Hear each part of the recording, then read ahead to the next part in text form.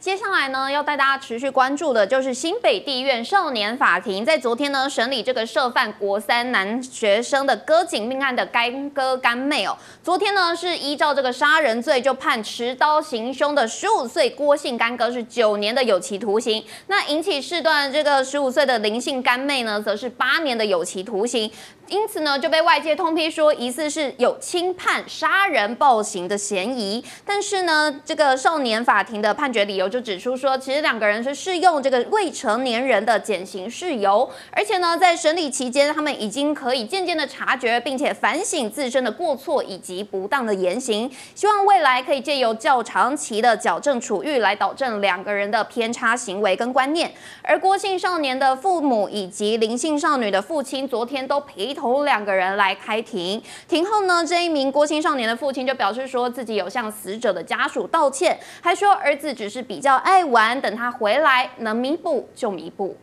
干妹教唆干哥砍死学校同学，分别被判八年与九年徒刑。新北地院 IP 轻判，说是因为这两人已经逐渐察觉反省。干哥父亲更说，儿子比较爱玩，等他回来再弥补。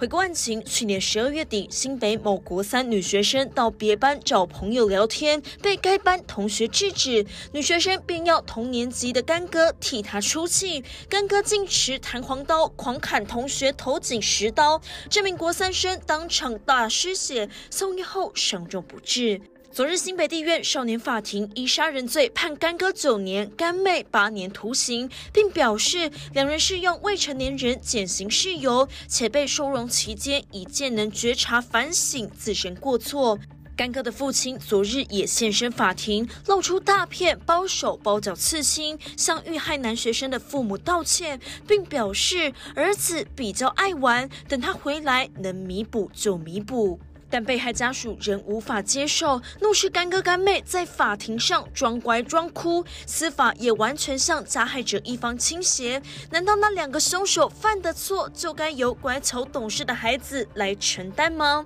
全案仍可上诉。而针对这样的判决呢，杨姓少年的父亲痛批司法已死。另外呢，新北市议员石一佑还指出，郭姓少年在出庭的时候态度呢相当恶劣，从头到尾呢都没有认错，甚至呢还称人不是我杀的，刀子不知道怎么飞进来的，让他气得直呼：“你听得下去吗？”也让杨爸爸一度哽咽落泪。对于这样的结果无法接受，表示一定会上诉。我刚刚已经有跟我的律师讲说，我一定会上诉。我觉得这种判决谁能够接受啊？郭三生割喉命案昨天宣判，死者杨姓少年的爸爸随后与新北市议员十一又视讯，气到哽咽落泪。台湾的法律已死啊，哪有杀人只判九年跟八年？太扯了吧！对于持刀砍人的干哥郭姓少年，声称不知道刀子怎么飞进来的，养父痛批说不知道有带刀进去，自己会飞进来。那那他之前在早餐店跟其他教室亮的刀，也是直直接自己飞进来的吗？干妹妹林姓少女的供词也让养父气愤不已。之前刚开始的时候，他还叫。他旁边的人去阻止他，不要多管闲事，那是对的吗？最后，我儿子已经躺在那边了，他才说他有去阻止，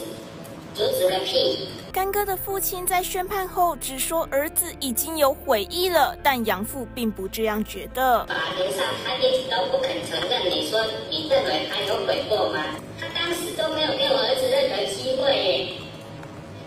然后只要轻轻的说：“哎，我又悔过了，这样就可以了吗？”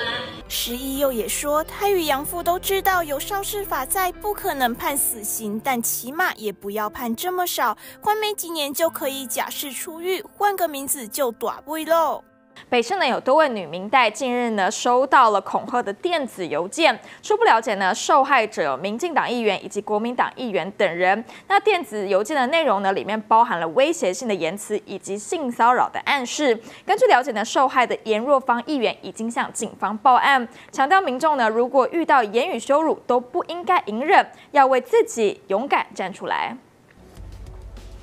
严若芳议员表示，从九月二十四日至今，电子邮件几乎天天都会有同位的。都会由同位的民众寄信过来，内文夹杂了许多性羞辱的语言，让我和团队不堪其扰。但我不会忍气吞声，将会向警方备案，也借此向大众示范：如果遇到这般的言语羞辱，任何人都不应该隐忍，应该要勇敢站出来捍卫自己的权益。我也要提醒大家，无论对象是不是公众人物，在评论时都应该谨言慎行，彼此尊重，千万不要逞一时的口舌之快而招致法律后果。而对此呢，士林警分局表示，因为辖区也有女民代收到性骚邮件，目前已经锁定可疑的对象，并报请士林地检署指挥侦办，将进一步厘清歹徒是否为单一人士以及他的动机为何。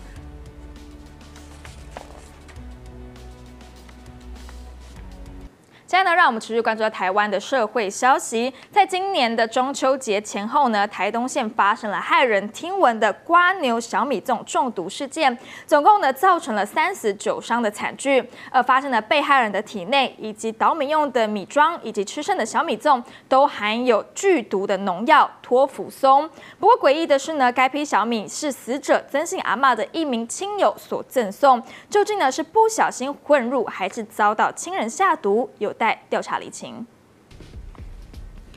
托福松多半是用来防除农田或是果园的地下害虫，具有浓烈的蒜头以及瓦斯臭味，刺鼻味道令人作呕，已经很少人使用，就连贩售的农业行也不多。若不慎食用，急性期的症状包含抽搐、大小便失禁或者是呼吸衰竭，一般在五分钟到半小时内就会出现反应。因此，除了买卖需要实名登记，外包装还会注明很危险。不过诡异的是，该批小米是死者曾姓阿嬷的一名亲友所赠送，托福松究竟是不慎混入，还是蓄意添加，有待调查厘清。期间呢，是否有其他亲友一起参与制作？亲友间呢，是否有财产或者是感情纠纷？诸多疑点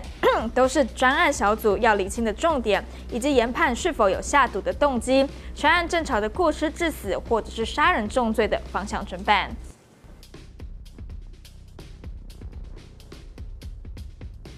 演艺圈的好消息要带大家来看到的是，台语天后二姐江蕙之前是因为抗癌，所以宣布封麦九年了嘛。那日前呢，还是惊喜宣布复出，将在十月五号的时候重拾麦克风，登上台北大巨蛋来为国庆晚会献唱。不过现在呢，更传出他将会在明年的时候全面正式复工喽，而且他到时候会返乡高雄来举办他的个人演唱会。时报周刊 City One 就掌握到独家消息，说将会预计将会在明年七月。暑假的时候开唱，而且呢场次至少五场起跳，而复出演唱会也确定将会由高雄出发。